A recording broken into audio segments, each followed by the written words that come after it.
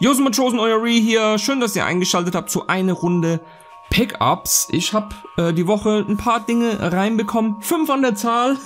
Und ihr wisst ja, wenn ich so mindestens fünf Sachen habe, dann gibt's eine Folge Pickups bei mir. Ähm, bevor wir anfangen, die möchte ich darauf hinweisen, das Gewinnspiel für das, ähm, für das Soccer hier ähm, wurde im letzten Video im Podcast mit dem äh, Attic Pleasures äh, ja, gelost, gezogen, ja, damit ihr seht, da ne, hat alles seine Richtigkeit gewonnen hat, der äh, äh, oder die Roadblockers Gaming, ja, hat das Spielchen gewonnen. Bitte bei mir melden via Instagram oder Facebook mit Adresse, damit ich weiß, wo ich das hinschicken kann. Gut, lange Rede, kurzer Sinn. Ab geht's.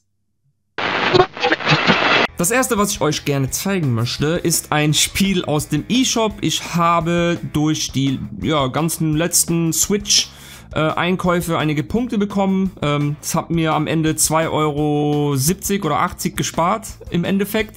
Hab dann für dieses Spiel was jetzt kommt, äh, äh, 10 Euro noch was gekostet, äh, bezahlt. Also es liegt bei irgendwo bei 12, 13 Euro. Es geht um Jetson Guns 2 ist ein ähm, horizontaler Shoot'em Up. Keine Ahnung, ob es da einen ersten Teil gibt. Ich habe dieses Spiel im Shop gesehen und es hieß Jets and Guns 2, also Jets and Guns 2. Ähm, hab mir Gameplay angeschaut, hat mir gleich ganz gut gefallen. Hab's dann auch eine Runde gezockt. Ich wollte es nur anzocken gestern, damit ich ja irgendwas darüber erzählen kann und hab mich und es war ja 12 Uhr nachts und ich war an dem, also gestern um seit 3 Uhr, also fast 24 Stunden wach, aber es, ich habe trotzdem zwei, drei oder vier Levels gespielt, weil das Spiel einfach Bock gemacht hat, ja. Also, wie gesagt, es ist ein Side-Scrolling, also horizontaler Shoot'em Up. Ähm, ja, zur Story, äh, die Aliens greifen an, wir sind die letzte Rettung, pipapo, bla bla bla. Was ich aber sehr cool fand an dem Spiel ist, es ist doch, also in den drei, vier Levels, die ich gespielt habe, es ist doch recht äh, vielseitig. Sprich, äh, mal sind die Levels schneller, mal sind sie langsamer. Auch das Waffensystem ist sehr cool, denn man ähm, wertet seine Waffen nicht während den Levels auf, sondern ähm, nach jedem Level ähm, beenden kann man in einen Shop rein und quasi ja, äh, RPG-mäßig sein, sein Schiff leveln, ja. Ähm, grafisch finde ich das Spiel mega geil. Der Soundtrack ist, ist, ganz, äh, ist ganz cool. Es ist so ein, ein härterer Metal-Soundtrack auch oder, oder Rock-Soundtrack. Passt auf jeden Fall sehr gut. Ähm, die Animation in dem Game, der, der, Schiffe, der Explosionen, mega geil. Was ich auch sehr geil finde, ist, ähm, man sieht auf dem, manchmal, äh, also auf dem Boden rennend und manchmal fliegend mit so Jetpacks, so kleine Mannequins. Ja, so kleine Männer, Männchen. Ja. Und die haben auch echt äh, ungefähr die Größe zu, äh, ja, wie unserem Schiff halt, ne? Also wir haben, keine Ahnung, ein Wohnzimmer, großes Raumschiff oder doppelt so groß und die Mannequin auf dem Boden sind halt echt so, so kleine Hüpf Hüpferles. So. Und wenn man die abschießt, dann zerfetzen die dementsprechend und ich fand es einfach war ein ganz cooler Touch für das Game, ja. Also, ja, fand ich, äh, fand ich nice. Äh, lange Rede, kurzer Sinn. Ich werde das auf jeden Fall weiter zocken. Es hat mir Bock gemacht, ja. Drei, vier Level nach fast 24 Stunden wach sein, obwohl ich es nur ganz kurz anzocken wollte. Ich denke, das spricht für sich. Und äh, ja, für den Preis ähm, machen wir mal nicht rum hier. Äh, äh, Jets and Guns 2. Das nächste Game ist ein PS4-Titel, und ich sehe gerade, ich habe noch, also ich habe zwei PS4-Titel und zwei, äh, zwei Switch-Titel. Da mache ich mal so, dass immer eins nach der Reihe kommt. also das erste Game für die PS4 ist ein Spiel, das schon lange, lange, lange auf meiner Liste steht. Ich aber, ich gehört habe, dass es einen physischen Switch-Release geben wird dafür, aber bis jetzt ist nichts getan und das Spiel ist fast kostenlos mittlerweile, sage ich mal. Es gibt das Spiel im eShop, aber eben noch keine physische Version für die Switch. Und deswegen stand ich im Mediamarkt und habe es mir für 17,99 mitgenommen. Ich wollte nicht mehr länger warten. Meine Damen und Herren, es geht um Hellblade Senua's Sacrifice. Ähm, viel, viel, viel und nur Gutes über das Spiel gehört, ähm, auch wenn es ein etwas kürzeres Game ist mit sechs Stunden Spielzeit. Aber ganz ehrlich, das ist genau mein mein Ding, ja, für jemand, der ähm, viel arbeiten geht und Sport macht und Freundin und bald einen Hund, ja, äh, ho hoffe ich zumindest, ja. Da bleibt nicht viel Zeit für diese riesen, ähm, ja, äh, epischen 100, 200 Stunden Games. Und dann ist sowas wie Hellblade Senua Sacrifice mit 6 Stunden dann halt genau richtig für mich. Und ähm, wie gesagt, sehr viel Gutes über das Spiel gehört. Das Setting ist natürlich geil. Ich liebe diese nordischen Settings, ja, Wikinger-Style. Ähm, hab mir sogar mal äh, letztes Jahr auf dem äh, Flohmarkt so ein silbernen Kelch gekauft, woraus ich schon ein paar Mal getrunken habe. Gut, das ist eher äh, Wikinger, ist ja dann eher, wäre eher Holz, aber zumindest sah das so aus, als wäre es von der Zeit. Naja, egal, auf jeden Fall. Hellblade, Senua Sacrifice, schauen wir mal ganz kurz rein. Äh, ja, wie so oft bei PS4, leider etwas Schmuck und lieblos innen drin. Hier ist das Game natürlich, ansonsten passiert hier nicht viel, ja. Äh, von den Schöpfern von Heavenly Sword. Oh, Übrigens, Heavenly Sword auf der PS3, sehr geiles Spiel. Bitte, bitte äh, mal abchecken, wenn ihr es noch nicht getan habt. Und Devil May Cry kommt jetzt eine brutale Reise in die Welt der Mythen und des Wahns. Ähm, so wie ich es bis jetzt sehen konnte, ist das Spiel absolut bildgewaltig, die Szenerien, ähm, die Atmosphäre. Der Peter Betendo hat dauernd gesagt, wenn du das spielst, zieh bitte Kopfhörer auf, ja, weil in dem Spiel ähm, scheint unsere äh, Senua, wenn das die Dame ist, mit der man spielt, an, ich sag mal, also sie hört einfach Stimmen in ihrem Kopf, ja, und ähm, klar, wenn man eine 5.1 Anlage hat, ist es cool, aber wenn man äh, Gaming-Kopfhörer hat, dann soll das scheinbar mega krass sein. Was mir auch aufgefallen ist bei dem Game, ist, dass die, äh, das ich sag mal, das Interface, also das äh, Bild, das man sieht, äh, äh, man sieht nur das Bild. Ja, man sieht kein, man hat keine Lebensanzeige, man hat keine Karten, ja, keine Minikarte in der Ecke, gar nichts. Ja, was sehr geil sein kann, wenn es richtig gemacht wird, dass, denn sowas zieht meiner Meinung nach den Spieler noch mehr in das Spiel hinein und lässt einen vergessen, dass man überhaupt ein Spiel spielt. Ja, ähm, ja, ich bin, ich bin hart gespannt. Ich werde wenn ich Zeit habe, heute definitiv noch rein äh, ploppen, denn ich zocke auch gerade äh, das, was ich jetzt als nächstes zeige, zocke ich auch gerade nebenbei auf der Switch, aber ich will's endlich zocken. Hellblade, Senua's Sacrifice. Oh, ich freue mich schon, ich freue mich schon mega drauf. Ja, ja. Hellblade, Senua's Sacrifice für die PS4. So, der nächste Titel, ein Switch-Titel, ähm, gab es auch im Mediamarkt für 29,99 und bis jetzt, ich habe knapp eine Stunde investiert in das Game, allemal wert. Es geht um The Persistence, ähm, so heißt das Raumschiff, auf dem wir unterwegs sind. Wir spielen, äh, wie heißt die Dame nochmal? Äh, ich hab's vergessen.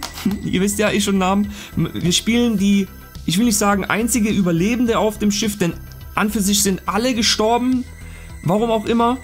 Ähm, und unsere, äh, unser, unser Schiffcomputer hat scheinbar die Möglichkeit, ähm, ja, zu klonen und hat uns somit geklont.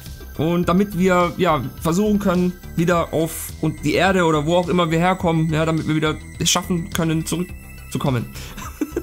und ähm, das Ding ist auch, wenn man stirbt, fängt man nicht von irgendeinem Checkpoint an, sondern von ganz vorne vom Spiel. Also es ist ein, äh, ein Roguelike Game, sprich, wenn man, man wacht auf, aber man hat die Fähigkeiten, die man sich angeeignet hat, denn ja, das Spiel hat äh, auf jeden Fall eine große äh, Variation an, an Upgrade-Möglichkeiten, ähm, waffentechnisch, äh, äh, Telekinese technisch und so, also sehr, sehr cool gemacht auf jeden Fall. Und was mich auf jeden Fall hart getriggert hat, das, äh, es zu kaufen, waren die Gameplays, die ich und die Reviews, die ich mir so angeschaut habe, denn viele vergleichen es mit Dead Space. Und wer mich kennt, weiß, dass auf der PS3 Dead Space zu meinen absoluten Lieblingsgames gehören. Alle drei Teile, hart genossen. Und es gibt auf jeden Fall den Vibe, ja, man ist alleine nur mit seiner KI im Ohr auf einem Schiff und kämpft ums Überleben gegen ja, ich sag mal, die Menschen, die da noch an Bord sind, sind keine Menschen mehr, sondern ja, zombifizierte Wesen, sag ich mal. Ähm, ich weiß nicht, ob da noch krassere Monster kommen oder wie auch immer. Das, ich gehe mal hart davon aus, soweit bin ich aber noch nicht in dem Spiel. Ähm, was ich aber lustig fand, ist, dass die Menschen, Zombie-Wesen, die man da trifft, immer noch so tun, als wären sie Menschen, sage ich mal, denn man sieht sie immer wieder, äh, wie sie an irgendwelchen Schaltpulten stehen und rumdoktoren und machen und tun, aber wenn sie einen sehen, dann, dann wird man sofort angegriffen und dann äh, geht's ab. Ähm, das Spiel setzt eigentlich viel auf Stealth, also Schleichen, man kann aber wenn man Bock hat, äh, Guns Blazing reinstürmen und Rambo-mäßig äh, da abgehen. Ähm, man muss, was aber besser ist, ist immer die, ja, man, es, es, es wird es ist besser, wenn man stealthmäßig rangeht, denn man hat so eine kleine äh, Hakenknarre, sage ich mal, die schießt man den bösen Menschen, Zombies da in den Nacken und zieht denen ihr, äh, ihr nicht Knochenmark, ihr, ähm, ihre Stammzellen raus und damit kann man dann auch, ähm, äh, ja, an bestimmten Orten Upgrades bezahlen, sozusagen. Schauen wir mal ganz kurz da rein, was liefert uns The Persistence, wenn wir es aufmachen. einfach nur weiß. Lieber wäre mir einfach nur schwarz, weil dann hätte man zumindest so ein, so ein Weltraum-Theme, ja. Aber naja, das Spielchen und hier ist die Rückseite. Kannst du The Persistence überleben, steht hier dick und fett drauf. Und ja, wie gesagt, ich fand's cool. Das Einzige, was mich ein bisschen stört bei dem Game, ich hoffe, man kann das irgendwie durch ähm, Upleveln oder so, aber ich, ich, ich befürchte nicht, ist die Steuerung. Sprich, wenn man den Pro-Controller in der Hand hat und zum Beispiel nach rechts oder nach links geht und dann drückt man nach rechts, dann passiert nämlich, dass es ist, es ist nicht sehr direkt. Die Steuerung ist nicht sehr direkt, sondern es dauert eine Sekunde, bis, bis man dann nach rechts schaut. Aber wenn man dann nicht schnell genug den Analogstick loslässt, dann macht's whoop, und ja, naja, ähm, das ist ein bisschen schade. Es ist sehr gewöhnungsbedürftig, aber ja, der Rest gleicht das meiner Meinung nach aus. Das Setting, äh, die Atmosphäre in dem Game. Auf jeden Fall cool. Also, ja, für die äh, Nintendo Switch, The Persistence. Und äh, wer Bock hat, kann das auch auf der PS4 äh, zocken, nämlich in VR. Ja, geht ja leider nicht für die Switch, aber wer Bock hat. Also, The Persistence auf der äh, Nintendo Switch und so weiter. Das nächste Game, wieder für die PS4, äh, ist ein, ein, ein Movie-Franchise, der leider ab dem zweiten Teil einfach nicht mehr auf die Beine gekommen ist. Es gibt, glaube ich, sechs Teile mittlerweile. Ja, lange Rede, kurzer Sinn. Es geht um Terminator. Resistance habe ich mir mitgenommen für 15 Euro aus dem Game Studio in Nürnberg. Danke nochmal Chris. Äh, der war leider nicht da gestern, deswegen schöne Grüße von hier. Ähm, ja, wie gesagt, filmtechnisch erster und zweiter Teil von Terminator, braucht man nicht reden, absolute Klassiker. Der Terminator 2, meiner Meinung nach bis heute das der beste zweite Teil überhaupt von irgendeinem Film oder überhaupt irgendetwas. Dann kam ähm, Terminator 3. Nein. Terminator 4 war ja die, äh, war Salvation hieß das, glaube ich, soweit ich mich erinnern kann. Der hat mir nicht schlecht gefallen mit Christian Bale. Der, äh, das Setting war zumindest cool, ja, dieses äh, Los Angeles ähm, äh, postapokalyptische Setting fand ich cool. Aber ähm, alles andere danach habe ich mir, ha, haben mir schon die Trailer einfach nicht getaugt. Ja, habe ich einfach ich gedacht, ja, komm. Und alle, alle sagen einfach, tu dir es nicht an und schau sie nicht. Ähm, zum Spiel sei gesagt, soweit ich es gesehen habe, also spalten sich da ein bisschen die Meinungen. Viele sagen, ey, es ist ein ja, es ist nicht sehr cooles Spiel. Naja, hat so eine Filmumsetzung, keine wirklich gute. Die anderen sagen aber, ähm, ja, doch, es ist durchaus gelungen und bis heute wahrscheinlich das beste Terminator-Game mit Abstand. Ja. Es ist ein First-Person Terminator-Game, also man spielt einen ähm, ein Mitglied von John Connors äh, ähm, ja, ähm, Resist äh, Resistance sozusagen und äh, kämpft sich seinen Weg quasi, also wehrt die Gegnerhorden der, der Terminator ab. Wobei ich mir habe sagen lassen, dass die eigentlichen Terminator in dem Game recht spät kommen. Also vorher kommen einfach nur so komische Roboterviecher, so kleine, so runde acht Beinen und wie auch immer. Und die Terminator, Terminator selbst seien auch etwas underpowered in dem Game. Also sie sind relativ schnell bezwingbar. Wobei, ja, es wäre halt, wäre auch, nicht so cool, wenn du dich mit jedem Terminator drei Minuten beschäftigen musst, bis du ihn endlich platt hast. Wird dann auch wenig Sinn machen und naja, Spaß, wie auch immer. Ja, ähm, auch dieses Spiel soll nicht so lang gehen, so 10 Stunden äh, die Story und es ist eine reine Story, es gibt kein Multiplayer, es gibt kein, ja, kein Splitscreen, wie auch immer, es ist ein reines Multiplayer-Game. 10 Stunden, genau richtig für mich, ja. Und es ist einfach, es soll einfach ein, ähm, ja, ja, grafisch ganz gut gemachtes und ähm, einfach hirnloses äh, Geballer sein, ja, ohne, die Story ist jetzt nicht zu krass und so, das, das Voice-Acting soll auch sehr schlecht sein in dem Game. Aber äh, für 15 Euro, denke ich, kann man sich das mal, äh, kann man sich ja mal mitnehmen. Ich mach's mal kurz auf und ich befürchte auch hier. Oh, oh, okay. Okay, ich habe hier, ich habe hier einen Code. Thank you for resistance. We've collaborated. Äh, Comics. Okay, ähm, falls es noch geht, schenke ich euch äh, die scheinbar digitalen Comics. Könnt ihr euch gerne Könnt ihr euch gerne nehmen. Ansonsten auch hier, ne, PS4 typisch, ne, das Spiel ist drin. Und die Rückseite, du selbst bestimmst dein Schicksal. Das äh, ist ein schöner Gedanke. Ob das wirklich so ist, sei dahingestellt. ja, also PS4, Terminator Resistance. Und zu guter Letzt ein Switch-Spiel und da sind eigentlich, eigentlich sind es drei Spiele, also drei Spiele in einem. Ihr könnt es euch schon denken, denke ich mal, lange Rede, kurzer Sinn. Mario, Super Mario 3D All Stars. Auch das Spiel habe ich aus dem ähm, Game Studio beim Chris gekauft. Zum Vollpreis von 60 Euro. Ähm, der ein oder andere schimpft über den Preis. Ich sag mal so, ich habe Super Mario 64 damals äh, angezockt und aufgrund des miserablen N64-Controllers nicht weitergezockt. Ähm, Odyssey hat mir mega gut gefallen, deswegen sollte mir, denke ich, Super Mario 64 auch gut gefallen. Ähm, Super Mario Sunshine habe ich auf dem Gamecube mal angespielt, da kann ich mich aber noch erinnern und ich weiß nicht, ob es an meiner Gamecube lag oder an meinem Röhren-TV damals. Das Spiel, und ich weiß, es heißt Sunshine, aber das Spiel war so grell, dass ich mir, ich konnte es einfach nicht zocken. Das war mir, das war mir zu grell. Äh. Ja, ähm, ich hab's angezockt und äh, hier scheint es auf jeden Fall besser zu sein. Und dann haben wir noch äh, Super Mario Galaxy. Da sagt ja auch der ein oder andere, das ist mit der beste Plattformer, also Jump'n'Run Plattformer Mario Teil ever. Mit einer der besten auf jeden Fall.